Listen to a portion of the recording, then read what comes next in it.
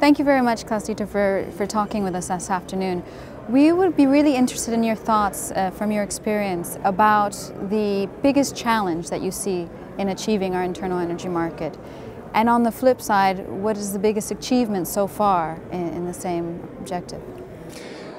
I think uh, we have to uh, recognize that we are working on a kind of target model for completing also the electricity uh, market. And uh, what you can hear from time to time that we need a new market design all this I do not believe. I think uh, we have a good target model, but as all the models, it has to evolve, develop over time. So I think that uh, you uh, need to think today, uh, is this target model still up to the challenges mm. that are laying ahead of us? When you're asking me uh, the successes or also the challenges, I would say that we have some uh, success stories, and I would uh, uh, first and foremost, I would like to mention here the day ahead uh, market coupling that covers 75% of uh, all the um, energy uh, trade, which is um, a very, very strong signal that uh, uh, we are capable to do it. We also have uh, made progress in developing uh, uh, for instance, also uh, some other areas in the electricity market. But it is also true that we have some downsides. So good the story is in day ahead, so sad is this story for intraday market coupling.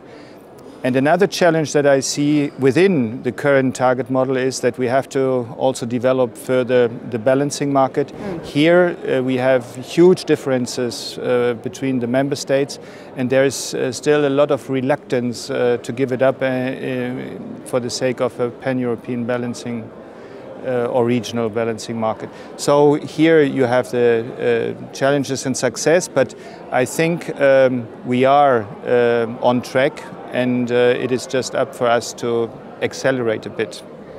And if there were one area, if you were in a position to, to take a decision to change some one thing, which one do you think it would be the most effective?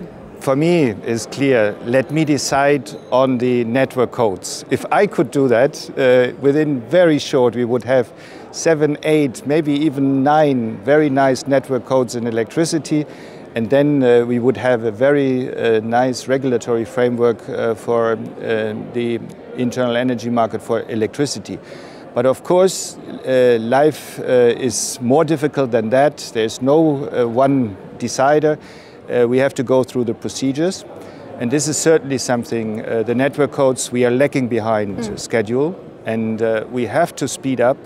And that's also why in this forum, I have announced uh, that uh, we will now reorganize our work. Uh, I have now also the commitment from ENTSO-E and also from ACER uh, to help us so that we can uh, hope that by the end of next year we will have uh, done most of the work that is um, linked to the network codes because they are crucial in order to uh, develop uh, our market. Indeed. Thank you so much for your You're time welcome. and for sharing your views with us.